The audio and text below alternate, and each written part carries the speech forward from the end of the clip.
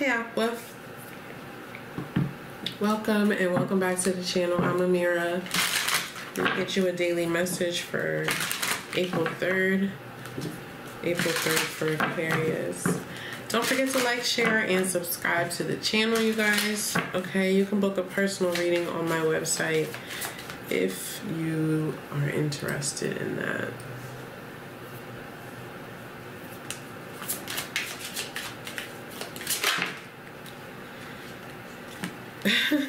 Somebody's confused. Okay. Specifically, I heard dizzy. Hmm. That card reminds me of you.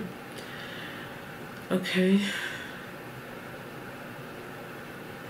I feel like someone's emotions are clouding their judgment. Yeah, the Six of Swords. All right. Listen more to the intuitive space, the logical space. I feel like, too, you know, I, I don't think that there's a. Um, I, I feel like somebody's putting too much pressure on themselves to make a decision when a decision doesn't necessarily need to be made right now. Or now's not the right time. What is this, please?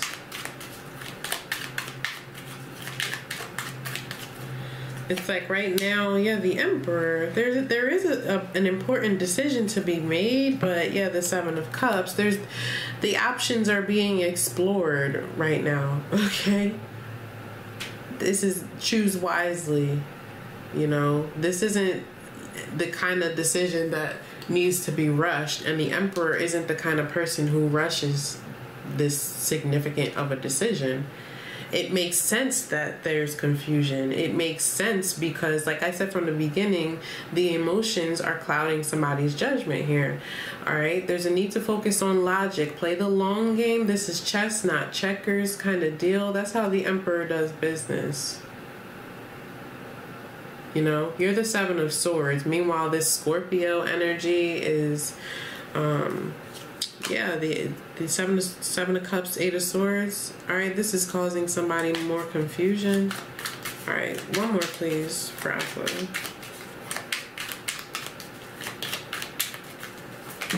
I'm hearing something about a buddy system. Okay, the tower wants to come out. The, yeah, the king of swords, that's you exactly. Gather your information first, okay? You need to, or this could also be a need to, um, um, request the professional opinion of someone. Okay, get prof- get a professional opinion or advice. Okay. Yeah. Yeah, the Seven of Pentacles. Take your time here, please. Don't feel rushed. I don't know why someone feels rushed or feels the need to rush or just wants to. You need to take your time. Allow information to be revealed to you. Ask questions. Do research. All right, all of this stuff.